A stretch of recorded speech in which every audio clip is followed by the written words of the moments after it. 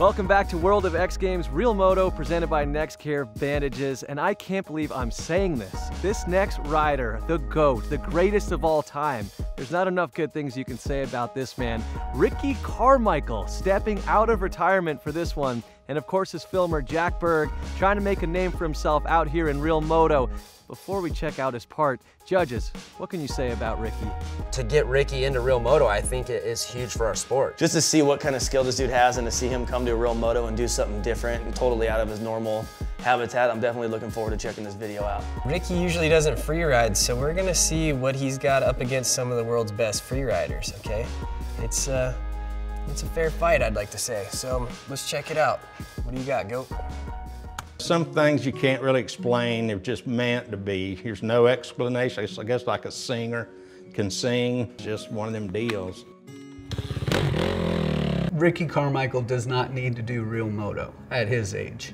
But at the same time, he's the GOAT. He's the greatest of all time. I mean, having undefeated seasons and winning 15 titles throughout your career, it's unmatchable. I don't know that you could call me the greatest of all time. Now, winningest of all time, when you combine motocross and supercross, I do have that record of 150 wins combined, so I will claim that one. But there's so many great riders. He had a competitive thing going when he's about two days old. I think I noticed it. My parents had no clue about dirt bike racing or anything like that. We were self-taught. We knew nothing about dirt bikes nothing, and I mean nothing. We were students of the sport. You know, it was a long, tough road. My parents sacrificed everything. We lived in a motorhome for a year and a half. My work ethic I really got from my mom. She really held me accountable. And she was the one that took him practicing every day and, you know, made the deals with him. If he does good, he can stop by and get an orange, drinking a hamburger on the way home.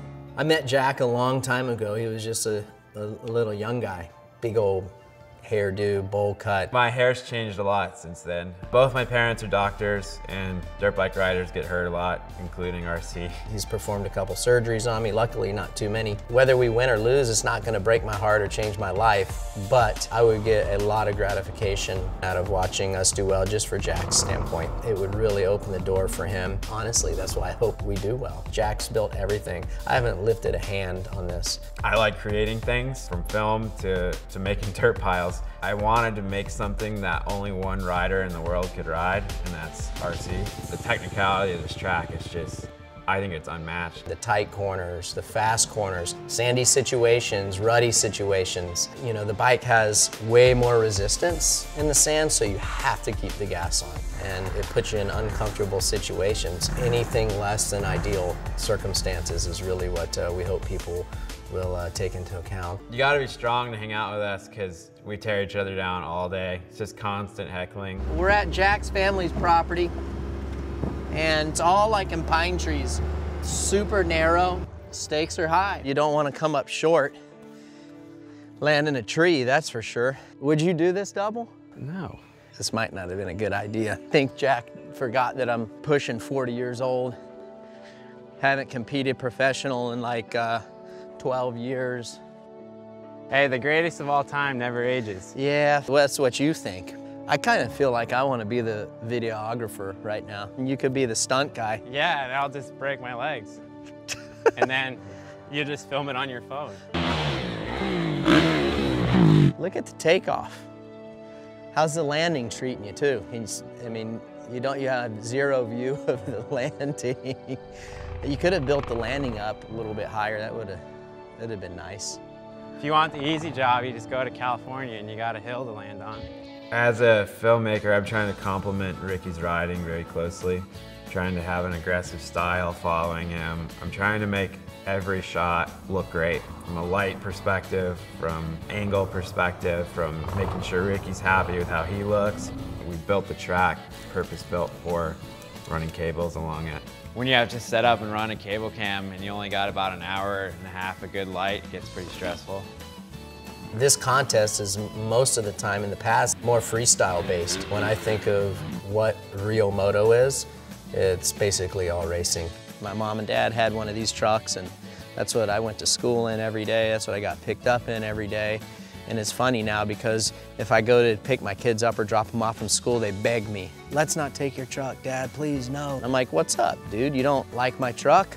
it's embarrassing to them. So when I pick them up, I had the windows down and the radio on. That really gets them. It makes me never forget where I came from and makes me thankful for what I have. He's doing this whole thing to help me out. I'm just so glad that we could work on this together. It's been an opportunity of a lifetime, and I could not think of enough.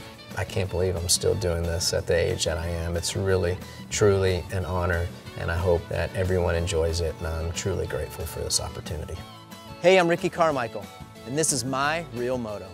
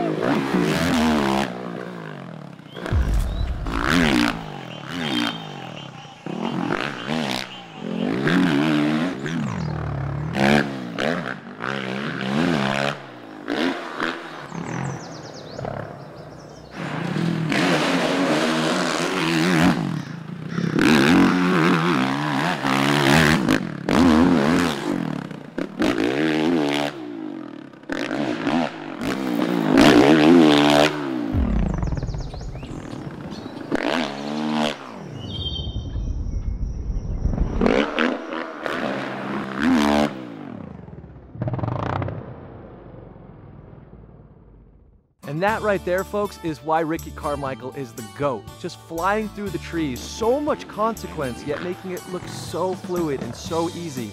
Mike Mason, what do you think? I thought they put together an amazing piece. It was, you know, him ripping around a track, which we've all known Ricky to do, and there were some big jumps. He got got down with some old school freestyle stuff, which was pretty cool. And the filming, everything just through the trees and you know the Florida sand, everything. It it was an awesome piece. Anytime you watch Carmichael ride a bike, you get a smile on your face. And for me, it's cool to see him come over to like my world, you know what I mean? And to see him put together a video part this good was pretty stoked. Like it made me want to go ride my bike.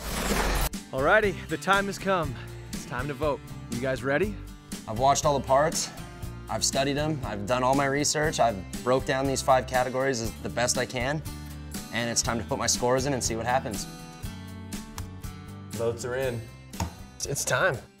This is it, ladies and gentlemen, the moment we've all been waiting for. The results are in for Real Moto 2019. Starting with the bronze medal, the GOAT himself steps out of retirement in a selfless act to help his filmer Jack Berg make a name for himself in his film career and successfully achieves it.